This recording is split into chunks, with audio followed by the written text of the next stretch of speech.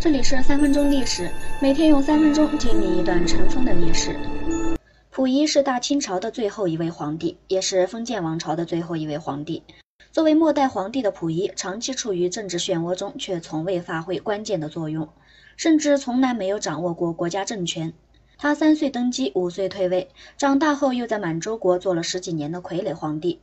日本人投降后，溥仪先是被当作俘虏带到了苏联，后来又被送往抚顺战犯管理所改造学习，直到被毛主席特赦后，才过上了普通人的生活。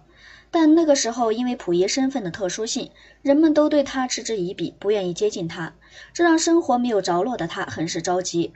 正当他为将来一筹莫展的时候，时任历史研究所所长的郭沫若前来拜访。俗话说“无事不登三宝殿”。原来郭沫若听闻溥仪回来了，就想邀请溥仪和他一同编写清史。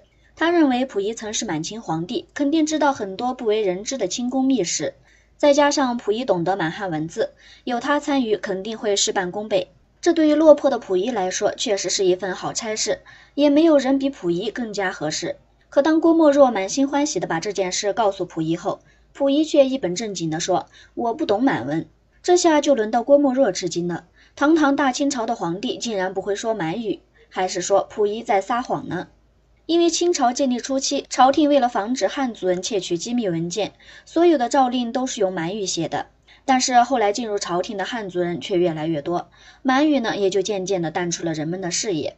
到了清末，就只有小部分满族人还在说满语。民国时，满语就基本绝迹了。而溥仪作为皇帝，满语是必须要学的。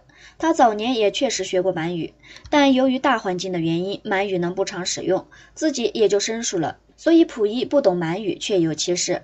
而且他在自传《我的前半生》中也曾多次提到过。所以溥仪拒绝郭沫若的请求，可能确实是因为自己才疏学浅，帮不上忙，才会拒绝郭沫若的邀请。